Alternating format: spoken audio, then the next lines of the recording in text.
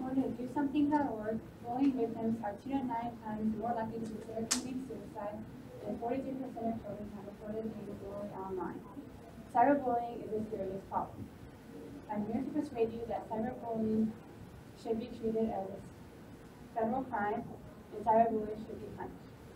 I will begin by describing why cyberbullying is harmful and why it should be treated as a federal offense, and then I will give some suggestions as to how we can prevent cyberbullying. And finally, I will give an action step and describe what we can do to stop cyberbullying. For my first point, cyberbullying is very harmful and has many detrimental effects. Some of these effects include um, feeling overwhelmed and having low self-esteem which can lead to suicide. According to the Population Reference Bureau 2016 publication, suicide surpassed homicide in 2014 and is now the second leading cause of death in teenagers aged 15 and 15 to 19. Cyberbullying can lead to suicide, and this is why it should be punished as a federal my second point,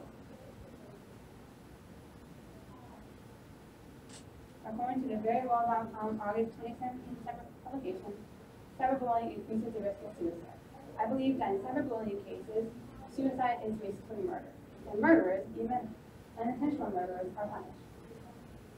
And that is why I believe that there should be laws and regulations in place to punish cyberbullying, especially if the bullying leads to committing suicide.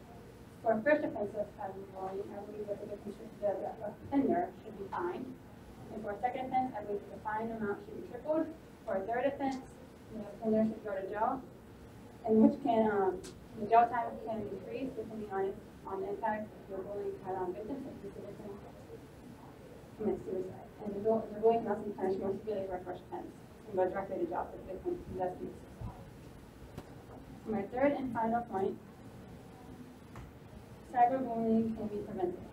We can prevent cyberbullying by reporting the bully to the website administrators. We can also block the bully on the website we found them on. And we can warn others about the cyberbullying. An action step we can all do is send emails to our senators and ask them to get the ball rolling on passing legislation similar to the Megan Meier Cyberbullying Prevention Act that would make cyberbullying a crime punishable by up to two years in jail. In conclusion, cyberbullying can lead to suicide. Victims of cyberbullying are more likely to commit suicide, and suicide is the second leading cause of death in American teenagers. This is why cyberbullying should be a federal offense, punishable by up to two years in jail. Cyberbullies must.